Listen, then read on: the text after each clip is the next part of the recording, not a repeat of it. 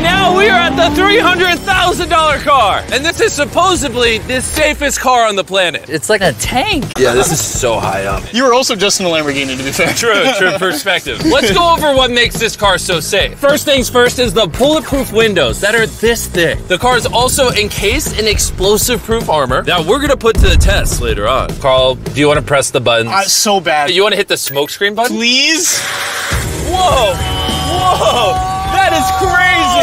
Have a literal smoke screen. Oh my gosh, it smells. But the best part is, none of these features are what make the car really safe. It's the literal explosive proof frame around the car. And we're gonna be the first people to test it. And for reference, before we blow up the $300,000 car, we're gonna blow up a normal car to see if the passengers survive.